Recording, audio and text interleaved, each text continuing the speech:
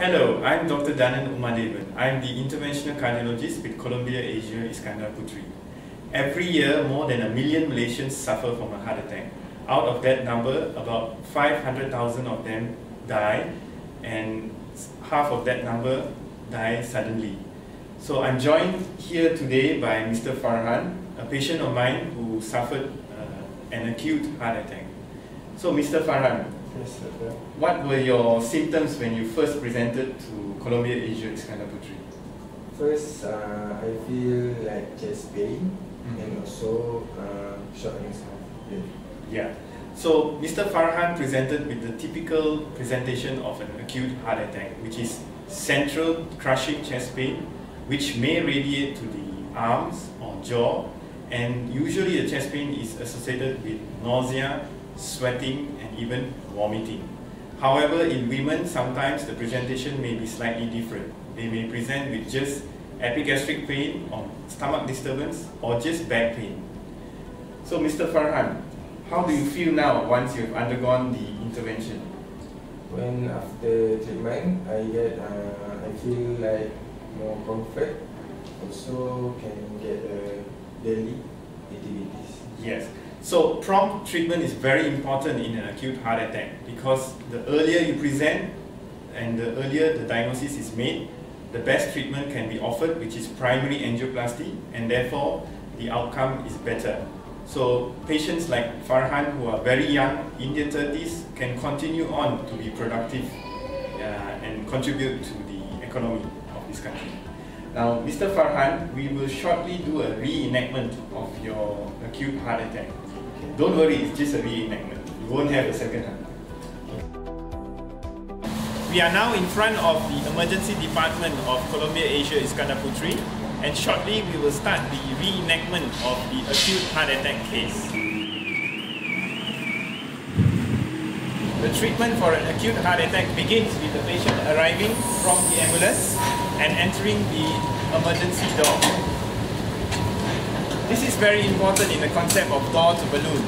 Door meaning the time at which the patient passes through the emergency door.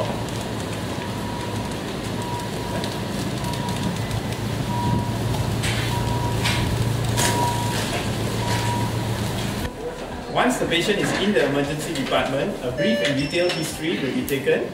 This is to uh, make sure that the patient is indeed suffering from an acute uh, chest pain episode. An ECG will be done to confirm the diagnosis of an acute heart attack. The patient will be given necessary treatment for an acute heart attack, which would include blood thinning medications, oxygen, and even painkiller medications to reduce his pain. In the emergency department, an echocardiogram will be performed to determine the patient's uh, heart function prior to the angiogram.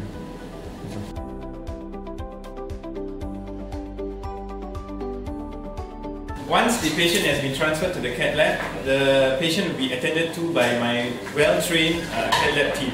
They are like an F1 team and they each know what to do. So we have over there our CVT, two circulating nurses, our radiographer, uh, and the scrub nurse, as well as the third circulating nurse. So each of them know what exactly they have to do. Like for instance, the scrub nurse will uh, help to drape the patients, the CVT will attach the ECG leads and the BP uh, electrodes, and the circulating nurses will help me with mixing any medications which I'm mixing. The radiographer will help to man the II machine so that we have the perfect view to view the artery uh, which is involved in the acute heart attack. So the procedure starts with obtaining a radial access.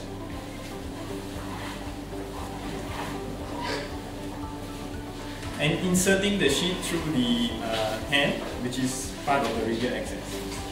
Here we have done the diagnostic angiogram and we have identified the culprit vessel. So following this, we will pass a guiding catheter and a wire uh, down the affected vessel. We will then suck out the clot in the affected vessel.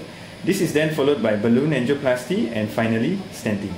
So once the guiding catheter is in place, a coronary wire is uh, placed into the affected uh, and a balloon is uh, inflated to open up the uh, culprit vessel. Once the vessel has been opened, the balloon is removed and following that, a stent is placed. The purpose of the stent is to maintain the patency of the vessel. This is an example of the balloon which is used in coronary angioplasty. Inflate. Okay, deflate. This is an example of a coronary stent. Inflate.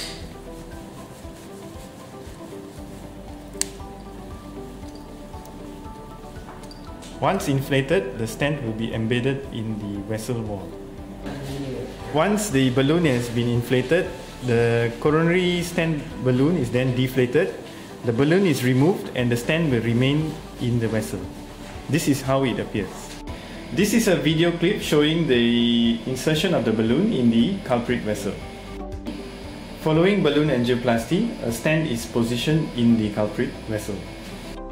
This is the picture following stent implantation. As you can see now, flow is restored to the whole vessel. Once the process has been done, uh, the catheter is removed and the patient will be transferred to the coronary care unit. So I'd like to emphasize again the door to balloon time and uh, basically door means the time at which the patient comes in through the emergency department and balloon meaning the time at which the balloon is inflated in the culprit vessel. In Columbia Asia Iskandar Puteri, we have managed to achieve a mean door to balloon time of around 60 minutes. This is better than the international standard of 90 minutes. This is very important to ensure that the patients have the best possible